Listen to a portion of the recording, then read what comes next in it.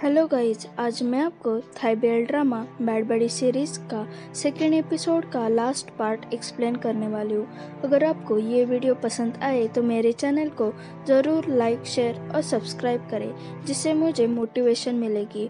और मुझसे कोई गलती हो जाए तो ज़रूर कमेंट सेक्शन में बताएँ, ताकि मैं उसे सुधार सकूँ। तो शुरू करते हमारा लास्ट पार्ट स्टार्टिंग में हमें दिखाते पैद डोर खोलता है तो उसके पापा उसे पूछते हैं इतनी देर क्यों लगाई? तो पैद बोलता है, मैं बाथरूम में था। तो उसके पापा पूछते यहाँ इतना अंधेरा क्यों है? ऐसे लग रहा है जैसे मैं केव में आया हूँ।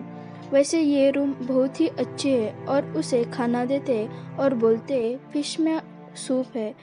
जब मैं यहाँ आ रहा था तो चाइना टाउन में रुका था। तुमने इंजीनियरिंग क्लास के लिए जो मटेरियल चाहिए थे, वो प्रोफेसर पिचाई के साथ लिए क्या? तो पैथ उनसे पूछता है, वो आपके फ्रेंड है क्या? तो उसके पापा बोलते हैं, वो मेरे सीनियर थे।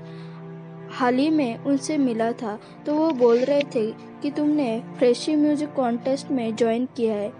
तुमने बहुत ही अच्छा किया।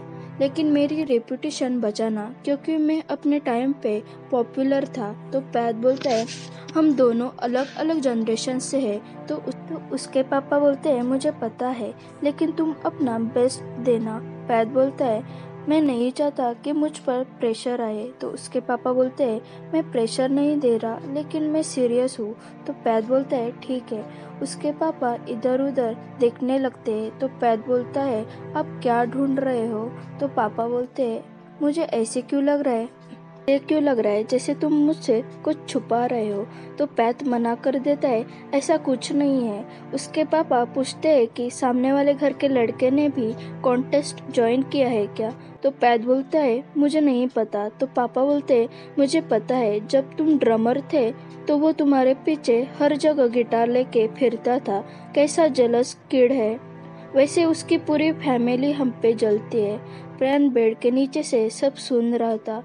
उसे बुरा लगता है। तो पैद बोलता है, ऐसे मत बोलो पापा। तो उसके पापा बोलते हैं, मेरा फ्रेंड कार लेके आया था। तो उसकी कार थोड़ी उनके लाइन पे गई। तो उसकी फैमिली गुस्सा होके देख रही थी। मुझे नहीं पता कि वो इतने सीरियस क्यों रहते हैं। पैद बोलता है, वो इतने बुरे नहीं है। तो उसके पापा बोलते हैं वो मुझे पागल कर रहे हैं और मैं उनसे थक चुका हूँ। उन्होंने अपने बेटे का भी ट्रांसफ़र किया था। तभी उसके पापा को मोम का कॉल आता है और वो उसे अपना ध्यान रखने को बोलकर वहाँ से चले जाते हैं। पैन नीचे से सब सुन रहा था। उसे बहुत ही बुरा लगा था। पैत उसे सॉरी बोलता है। तो प्रैन बोलता है, तुम अपोलॉजी मत मांगो। तुम्हारे डैड सही कह रहे थे।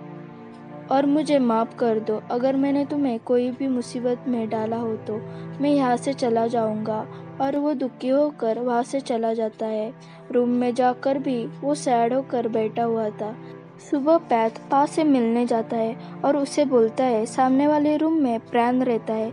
तो पा बोलती है, वो हेल्दी गर्ल प्रैन है। ये तो मूवी में होता है, वैसे ही ड्रामेटिक लग रहा है। तो पैथ बोलता है पप्पी की तरह सैड फेस करके वो बोल रहा था कि वो वहाँ से चला जाएगा। वैसे भी मैं उधर पहले रहने के लिए गया था। तो पाव से बोलते हैं तुम्हें लगता है तुम गलत नहीं हो?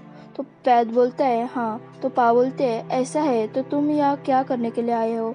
मुझे पता है, तुम्हें गिल्टी फील हो रहा है, इसलिए तुम यहाँ आए हो।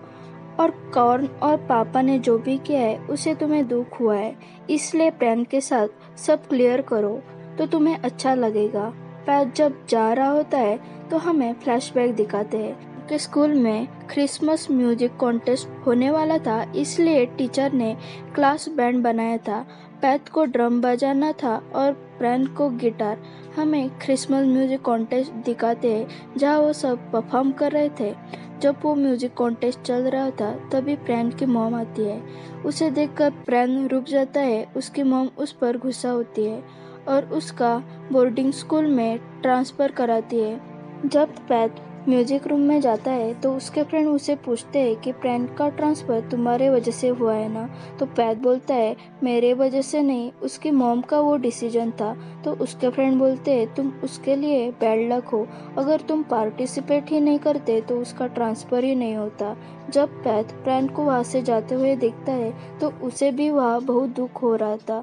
फ्लैशबैक ख़त्म होता है और हमें प्रैन दिखाई जाता है, जो नई रूम देखने के लिए जाता है। वो रूम देख रहा था, तभी उसे कॉल आता है।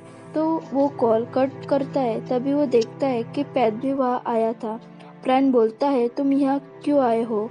तो पैद बोलता है, क्योंकि तुम मेरे किसी भी कॉल का आंसर नहीं दे रहे हो।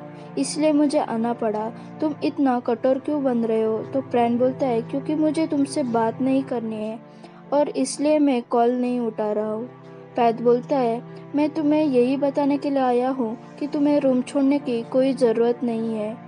अगर किसी को जाना चाहिए तो मैं जाऊँगा। तो प्रैन पूछता है, क्यों? तो पैद बोलता है, मेरे कोई रीजन से इसलिए। प्रैन बोलता है, मेरे भी रीजन से इसलिए मैं वहाँ से जा रहा हूँ। तो पैद बोलता है, मैं तुम पर कोई एहसान नहीं करना चाहता, लेकिन तुमने पाक की जान बचाई है, इसलिए कर रहा हूँ। और उस टाइम पे भी मेरी वजह से तुम्हें ट्रांसफ़र होना पड़ा। तो बस मुझे इस बार बाहर जाने दो। तो प्रैन बोलता है, तुम यहाँ से चले जाओ, क्योंकि मैं चाहता हूँ तुम खुद को फिर से गिल्टी महसूस कर, करो। तो फिर से तुम पर मेरे एहसान रहेंगे। तो पैद बोलता है, तुम्हें चीज़ें इतने आसानी से क्यों नहीं मिल जाती? मैं बोल रहा हूँ ना कि मैं वहाँ से जाऊँगा। तो प्रैन बेड पे लेट जाता है और उसे बोलता है, मेरे रूम से बाहर निकलो। उसे चिढ़ाने के लिए बोलता है कि, मेरा बेड कितना सॉफ्ट है। तो पैद उसे उठाने लगता है। और बोलता है, तुम इस बात को इतना मुश्किल मत बनाओ और उसे ज़ोर से खींचने लगता है और बोलता है, तुम्हें पता है ना, मैं तुमसे स्ट्रॉन्गर हूँ तो प्रैन उसे बेड पे गिरा देता है और बोलता है, मुझसे मुझसे फाइट करो। अगर तुम्हें लगता है कि तुम कर सकते हो तो पैत उसके ऊपर आता है। तो प्रैन बोलता है, ठीक है, मैं हार गया। पैत उसे छोड़ देता है तो प्रैन उसके ऊपर आकर गुदगुदी करने लगता है। तो पैत उसके नज़दीक आता है और वो दोनों एक दूसरे को देखते रहते हैं। तभी वहाँ रूम दिखाने वाली वो लड़की आती है और उन्हें देखकर शर्मा जाती है और नीचे देखकर बोलने लगती है कि, सॉरी, ये रूम किसी और कस्टमर ने मॉर्निंग में बुक किया है और इसका डिपॉजिट भी देकर गए गए हैं। इसका मतलब ये रूम अवेलेबल नहीं है। तो फ्रेंड बोलता है, कोई और रूम नहीं है क्या? तो वो लड़की बोलती है, या एक भी रूम खाली नहीं है। और आप प्लीज़ हमें कॉपरेट करें। जो भी यहाँ आप कर रहे थे, वो कहीं और जगह जाकर करो। और वहाँ से जल्दी जल्दी में निकल जाती है। तो प्रैन उसे समझाने लगता है कि आप जैसा सोच रहे हैं, वैसा कुछ नहीं चल रहा था। लेकिन वो लड़की वहाँ से चली गई थी। उसके जाने के बाद प्रैन लिप के पास चला जाता है। तो पैद भी उसके पीछे हंसता हुआ आता है और बोलता है कि अब हमारे बीच चीज़ें क्लियर है ना? तो प्रैन पूछता है, कौन सी? तो पैद बताता है कि सब चीज़ें जो मैं तुम पर एहसान करने वाला हूँ, इसलिए मैं वहाँ से जाने वाला हूँ। और मैं नहीं चाहता कि ऐसा एंड हो जिसमें सक्सेस नहीं मिली हो तो मैं उसकी ज़िम्मेदारी लेता हूँ। प्रैन बोलता है, कैसा तुम्हारा अजीब लॉजिक है?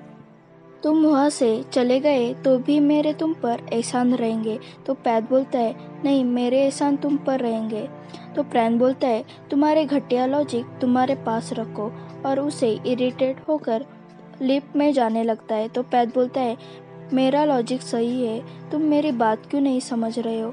तो प्रैन बोलता है, तुम्हारे रॉन्ग लॉजिक तुम्हारे पास ही रखो। और पैथ बोलने के लिए आगे आता है तो लिफ्ट के डोर से टकराता है। प्रैन बोलता है, तुम यही डिजर्व करते हो। और वो दोनों लिफ्ट से चले जाते हैं। ओके गाइज़ यहाँ हमारा सेकेंड एपिसोड ख़त्म होता है। नेक्स्ट वीडियो मैं जल्दी ही लेकर आऊँगी। अगर ये वीडियो आपको पसंद आई हो तो मेरे चैनल को ज़रूर लाइक शेयर और सब्सक्राइब करें। Hello guys